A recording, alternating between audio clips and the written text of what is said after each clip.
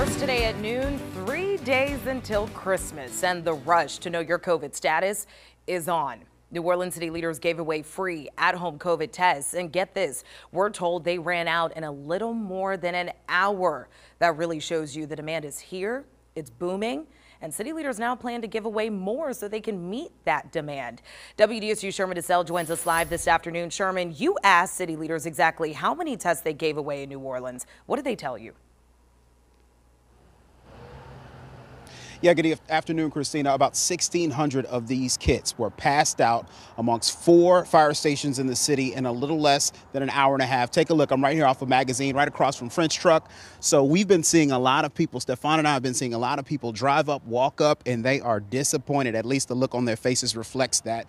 When they see this sign right here, it says, sorry, we are out of COVID test.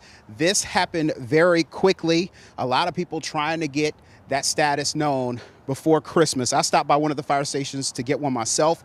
All you're required to do is write down your zip code. You walk away with the test. It takes 15 minutes to do.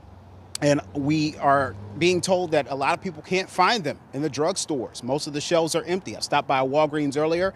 They said they sold out two days ago. Uh, because these tests are 27 bucks. A lot of people are looking forward to getting the test, not just before the holidays, but because this is a free opportunity. So uh, we also heard from the city that they are planning on opening some additional sites through the health department and NOHSEP.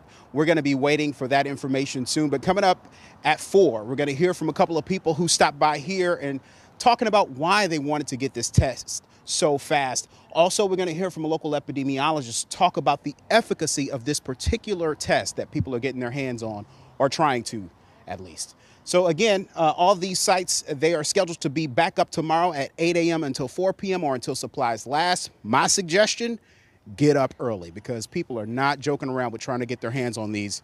We're over here on Magazine from the fire station. Back to you. All right, Sherman, thank you. In Jefferson Parish, their percent positivity rate is 11%, and the Omicron variant is spreading. That's why a lot of you want to know your COVID status, especially before Christmas. Well, today will be the last day to go ahead and get that done at two testing sites. COVID testing at Johnny Bright Playground and the Alario Center will close today at 4 p.m. for the holidays, and then they'll reopen on Monday, the 27th.